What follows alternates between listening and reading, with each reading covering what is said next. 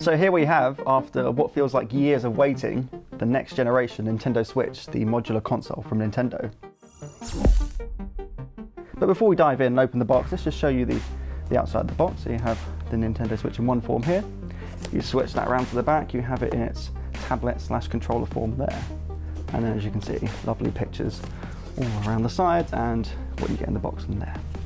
So, right, what everybody's been waiting for. Let's get this open. Here it is, it's the Nintendo Switch. So on the top layer you get the tablet itself, along with the Joy-Con controllers. Now these come in the neon colours or they come in grey. Uh, pretty happy with the neon ones actually, really bright, really nice colour. Here we have the innards. So we have our important information pamphlet, which is very important to read, obviously. We'll do that later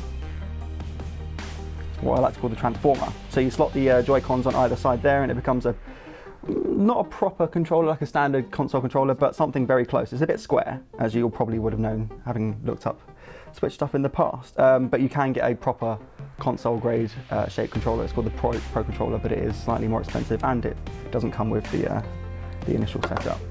So moving on. As you can see, the slot's there. You just slot the switch in there and it goes from tablet to TV mode.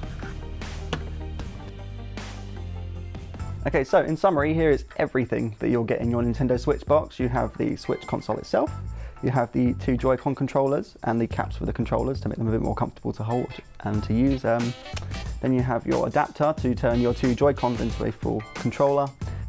And then obviously your power, your HDMI and your dock to turn it from uh, portable mode into TV mode. There's a range of accessories available for the Nintendo Switch, like the uh, Pro Controller, which is more of a, a stereotypical console controller, uh, but all the other accessories are sold separately. So now I've shown you everything that comes in the box, the next step is setting it up.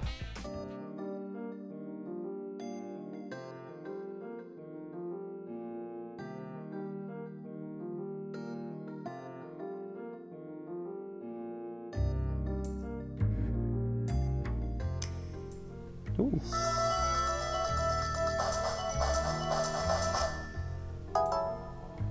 Okay, let's go through the setup process. So, first off, let's choose a language, English. And where are we at the moment? We are in Europe, so let's go with that. Important information, always read the important information. Many, many. Oh, that's not a lot actually. Okay, let's about license and unauthorized use. Let's go back. We agree. Okay, so once you've gone through the initial process, choosing your language and your region, you have to connect to local Wi-Fi. So let's do that ever so quickly here. There we go. On to the next step, set our time zone. Right, so we are in London, hopefully enough, already there. For this part of the setup, you can either continue to set it up as a handheld console or you can plug it into the dock and then plug that into your TV to go through the TV setup. For this, we're going to carry on on the console. So let's click later. And we have to detach the Joy-Cons. It shows you how to do that by pushing buttons on the rear on either side to detach them and then lift them up. Detach and lift up. So if I pop the stand up there, I can now use these wirelessly. So there we go.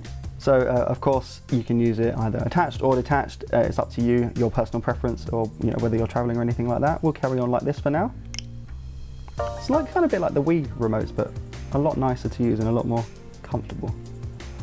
Okay, it's time to set the icon and the nickname.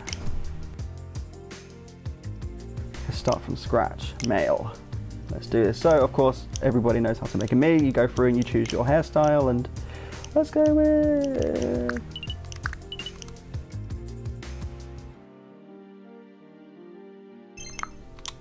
enter a nickname. Now you can use the controllers to type this on, you can do the touch screen itself, which is often easier, and then tap done. There I am. Okay, we're good from there. Okay, just going through, uh, setting up the user process. So here's my username, or my Mii. Uh, background, I'm not really too keen on pink. Let's go for a red. And there you go, there's my user ready to be the console. Click OK. Of course, there are enhanced parental controls uh, with the Nintendo Switch. It's all run via an app available for iOS and Android, and it lets you kind of set limits on how long your kids can play and what they're what exactly they're playing and stuff like that. It's all really interesting stuff, and it's not something offered by the likes of uh, Sony or Microsoft. Uh, let's move on from that for now, though. And as you can see, the setup is now complete. We are ready to load up our first Switch game and give it a go. So now it's all set up as a tablet. Let's show you how to set it up in console form. Now this is the dock that you get with the console and you might notice at first you're not really sure where to plug things in. That's because it's all hidden away fairly neatly at the back here. So you have your HDMI out, your USB and your AC adapter. This is everything you need to plug in. Okay, so first of all you take your power lead, pop that, you can thread it through this gap here, and then you pop that into the AC adapter slot there at the top, and then you get your HDMI cable also supplied in the box. Again, slot that through there and pop that in place on the dock like so, and then close that back up to make it look a little bit neater. Once you've got the wires plugged in, the uh, next step is to actually plug it into your TV. Okay, now we've plugged in our Nintendo Switch dock to our TV. The next step is to dock the device itself. You'll notice that there's a connection at the bottom there and that aligns with a connection inside the dock. So, to dock it, slide it down, should be picked up by the dock and then outputted onto the TV like so.